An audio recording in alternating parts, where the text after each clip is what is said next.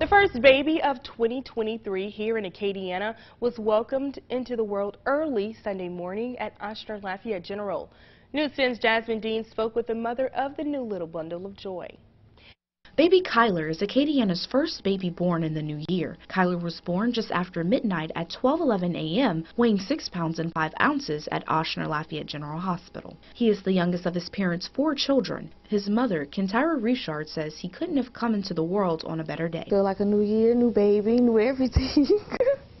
it feels good. It feels like I'm a first time mom all over again. Richard says she and dad Kevin Joseph had plans to take their other children to see fireworks for New Year's Eve when she felt herself go into labor. She says Kyler's arrival happened quickly. He was born only 2 hours and 41 minutes after they got to the hospital. Richard says right before she gave birth, she felt so many emotions. So once I actually got here and it was time to have the baby, it was kind of like I'm excited, but I'm scared, but I'm nervous, but I'm ready.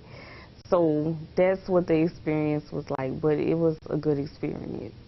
Richard says while she and her family planned on ringing in the new year with fireworks, baby Kyler's birth was even more special. She hopes his personality matches his arrival. He came in with a bang, so I hope he be good the rest of the year. Ochsner Lafayette General says their tradition in welcoming the first baby of the year is to gift the parents with a stroller, baby monitors, a case of diapers, wipes, and a diaper bag filled with essential baby items. Baby Kyler and his family is set to leave the hospital with all this and a memory to last a lifetime.